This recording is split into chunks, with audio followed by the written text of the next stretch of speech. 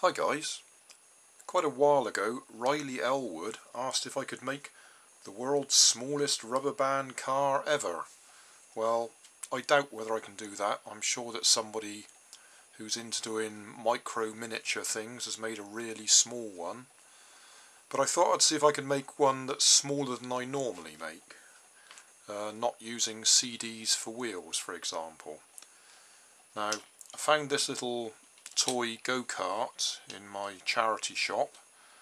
Picked it up because it's got nice rubber tyres.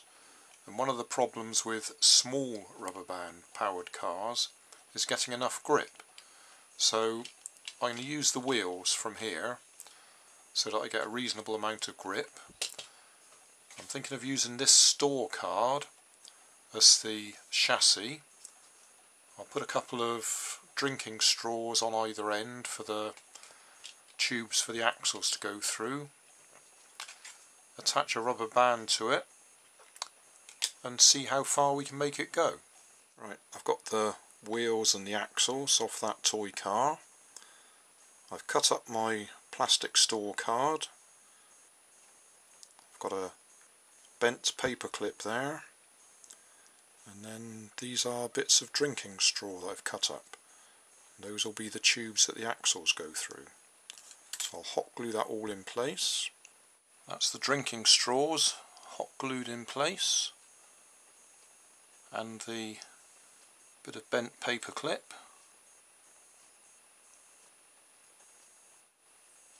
There we are, that's the wheels and axles in place. Now we need a rubber band and we definitely do not want a powerful rubber band. We want something fairly weak.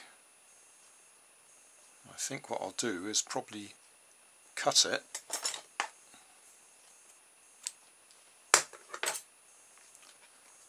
tie it onto the front here and just use it as a single length to wrap round the axle. I don't think I'm going to get the full 5 metres of my kitchen so I'm going to give it a run over my measured 3 metres that's already marked out on the floor. So this red line is the start line so we'll start behind it and then we'll see if we can get as far as the 3 metre mark. So here we go. Oh look at that, well past it. In fact, I would say that was four metres we did. We'll give it a chance, see if it can do the full five metres of my kitchen.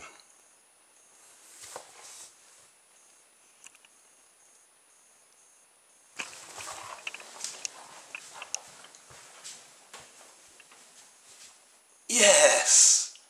Success! Oh, I never expected it to do that. Well there we go my miniature rubber band powered car with rubber wheels and a plastic store card as the chassis drinking straws for the um, axle tubes uh, single length of rubber band and a bit of bent paper clip to tie it to and we just did 5 metres I'm really pleased with that